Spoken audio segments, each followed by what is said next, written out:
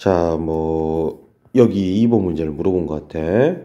자, 얘가 사사분면에서 만날 때, 자, 애매 관계없이 지난 점은 이미 구해놨을 것 같기도 하고, 음.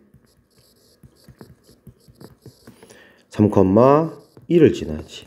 자, 그래프를 그려서 의미 파악을 꼭 해봐야 될 것 같아, 이 문제는. 먼저 3,-2를 꼭 지나, 아, 3,2를 꼭 지나야 돼. 요쯤을 지나지. 음. 그리고 이제 이 그래프를 가볍게라도 그려놔야지.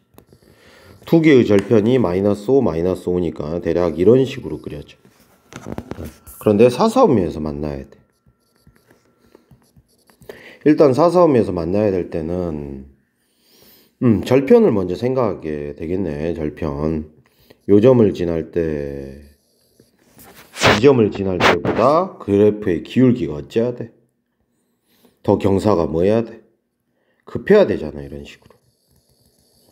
그치? 그러면 이때의 기울기보다는 어째야 돼?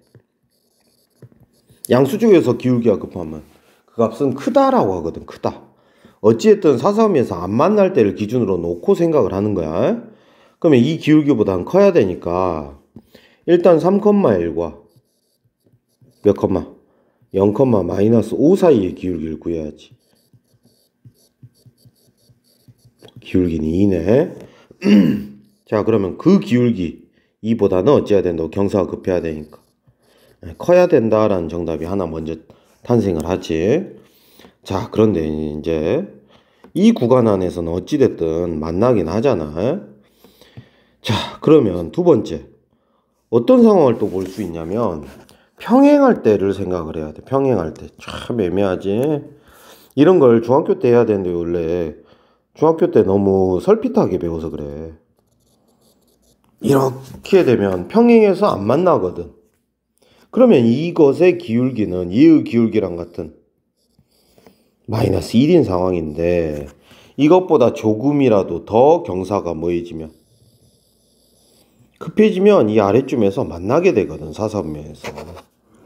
그럼 음수 쪽에서 경사가 급하다라는 말은 그 기울기보다 작다라는 소리거든. 절대값이 커지니까. 그래서 m은 마이너스 1인 것보다 경사가 급해야 되니까 작다라고 볼 수 있는 거지. 그래서 이 두 개의 정답을 답지도 분명히 이렇게 써놨을 거야. 여기 있네. 그치? 잘 생각해봐 기울기 관계